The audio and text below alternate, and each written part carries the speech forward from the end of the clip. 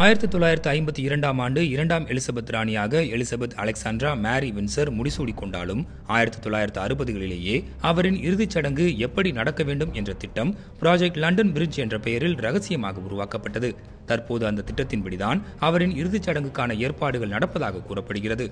இந்த திட்டத்தின்படி ராணியின் மரணம் உறுதி செய்யப்பட்டவுடன் அவரது தனி செயலாளர் பிரிட்டன் பிரதமருக்கு போன் செய்து லண்டன் பிரிட்ஜஸ் டவுன் என்ற கோட்வேர்டை தெரிவிப்பார். இதன் மூலம் ராணியின் மறைவை புரிந்து கொள்ளும் பிரதமர் தற்போது ராணி தலைவராக இருந்து வரும் முப்பத்தெட்டு நாடுகளுக்கு இந்த செய்தியை தெரிவிப்பார். ராணியின் மறைவு செய்தியை வாசிக்கும் பிபிசி செய்தியாளரின் உடை ஷூ டை ஆகிய அனைத்தும் கருப்பு நிறத்தில் இருக்கும். அவர் முகம் எந்த உணர்ச்சியையும் வெளிப்படுத்தக்கூடாது.